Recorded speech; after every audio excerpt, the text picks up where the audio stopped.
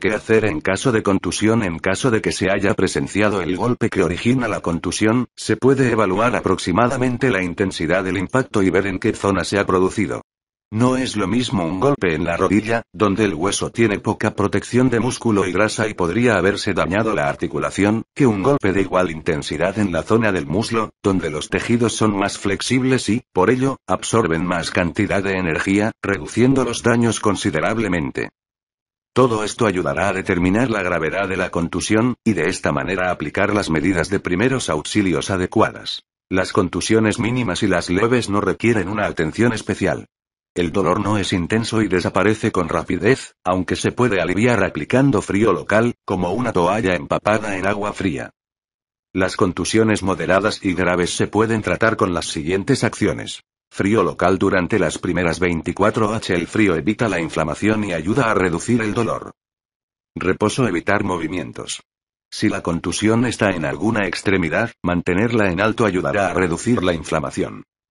Si el accidentado siente mareos, malestar general, o la zona lesionada crépita y tiene posturas antinaturales, se debe sospechar de fractura o lesiones internas y acudir de inmediato a los servicios de emergencia.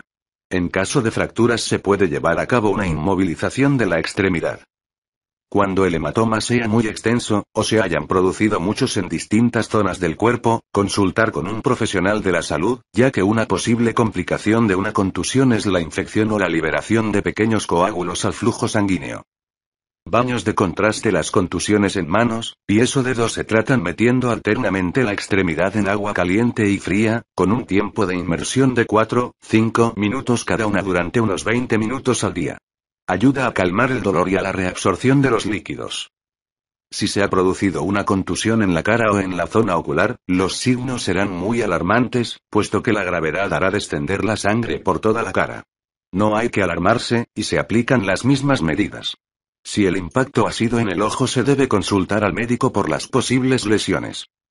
Existen pomadas sin receta médica, cuyo principio activo es el ibuprofeno o el ácido acetil salicílico, que ayudan a la reabsorción de los líquidos.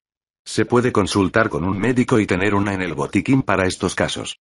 También hay sprays de calentamiento instantáneo tipo reflex para tratar el dolor de forma inmediata. Peligro que no hacer en caso de contusión. Las contusiones no generan muchas complicaciones y, por norma general, no necesitan tratamiento complejo, pero sí hay algunas cosas que es importante no hacer en caso de contusión para facilitar una buena recuperación.